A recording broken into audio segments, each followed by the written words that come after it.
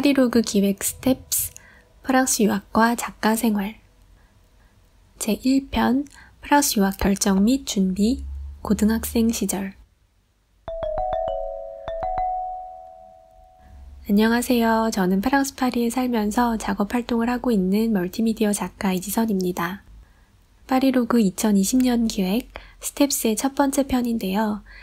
저의 경험을 바탕으로 한 프랑스 미술 유학과 작가 생활에 대한 이야기를 조금씩 나누려고 합니다.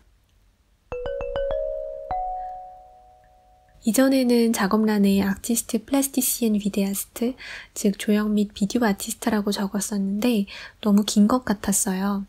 그래서 multi, 즉 다양한 미디어로 예술 작업을 한다는 의미로 artiste multimédia로 정했어요.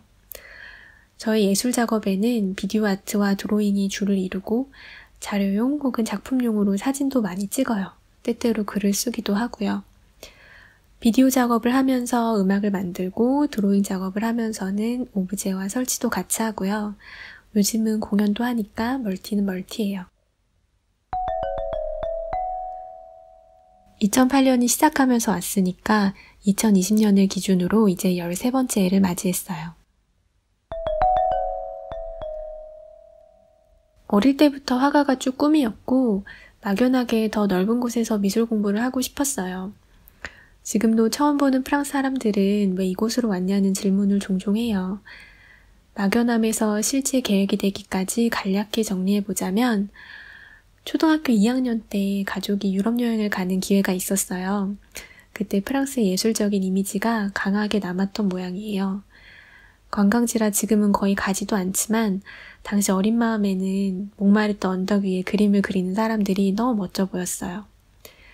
그리고 스위스 제네바에 친척이 살아서 유럽이라는 곳이 비교적 친숙하게 다가왔어요. 중학교 2, 3학년 정도에 제네바 친척집으로 조기 유학을 가는 얘기가 나왔었는데 저는 꽤나 간절히 원했지만 결국에는 몇 가지 제 능력 밖의 상황들 때문에 이루어질 수가 없었어요. 당시에는 마치 내 미래를 스스로 결정도 못하는 것 같아서 무능력함 같은 걸 크게 느꼈어요. 그래서 고등학교를 들어가면서 내 힘으로 준비해야겠다는 다짐을 하게 됐죠. 우선은 프랑스 미술 유학에 대한 정보들을 찾아보기 시작했어요. 집이 넉넉한 편이 아니라서 학비랑 생활비도 중요한 조건이었고요. 다행히도 한국, 미국, 영국과는 다르게 학비가 정말 저렴했어요. 계산해 보니까 한국에 남아있는 것보다도 비용이 덜 들어가겠다는 생각이 되더라고요.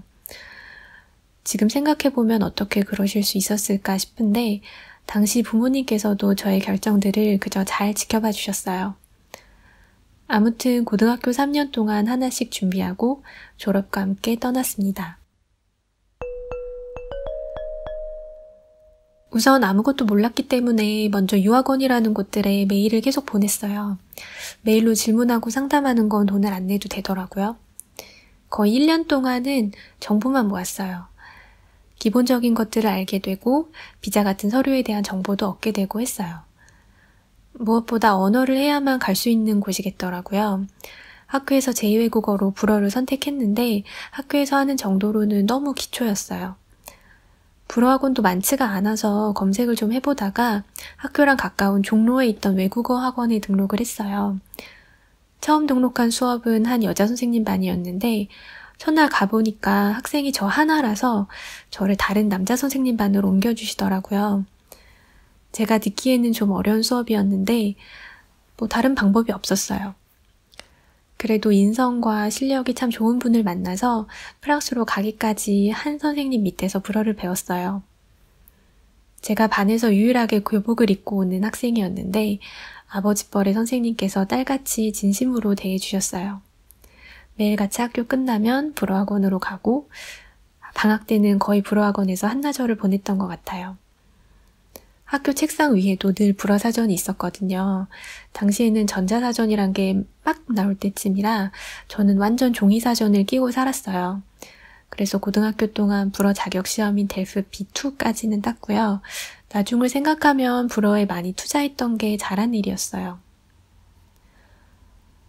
그리고 미술학교 입학에는 포트폴리오가 필요해서 압구정에 있었던 유학 포트폴리오 학원을 갔어요. 그런데 미술학원이란 곳은 참 비싸잖아요. 그래서 주말에만 잠깐씩 가는 식으로 했어요.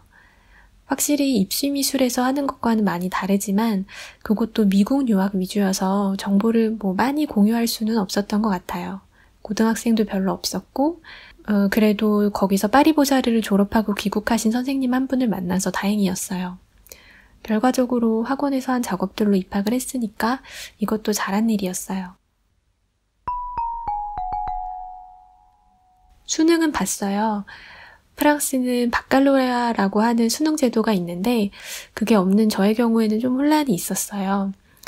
유학원 쪽에서 처음에는 고등학교 졸업장만 있으면 된다고 했는데 고3이 됐을 때는 한국대학교 입학증 같은 게 있어야 한다고 하시더라고요. 그래서 수시를 준비했어요. 한 번은 연대인가 수시 결과를 불어학원에서 확인하고는 화장실에 가서 막 숨죽여서 울었어요. 결국에는 수능 최저 등급으로 최종 합격이 되는 식의 전형으로 홍대 미대를 붙었습니다. 그래서 합격증을 받아서 공증을 받고 학교에 가진 않았어요. 근데 제가 프랑스에 직접 가서 입학 과정을 겪다 보니까 실은 합격증은 필요가 없었답니다. 어, 미술학교들은 자체 입학 시험들이 다 있기 때문에 고등학교 졸업장이면 되더라고요. 고3이 마무리되어 가니 이제 어학 다닐 도시를 결정하고 비자 발급도 신청했어요. 건우블 도시는 저는 전혀 모르는 곳이었는데 유학원 쪽에서 추천을 해서 선택하게 됐어요. 그리고 고등학교 졸업식을 한 달쯤 앞두고 짐을 싸서 떠났죠.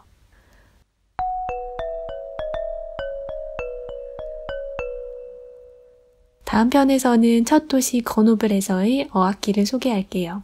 이야기 들어주셔서 감사합니다.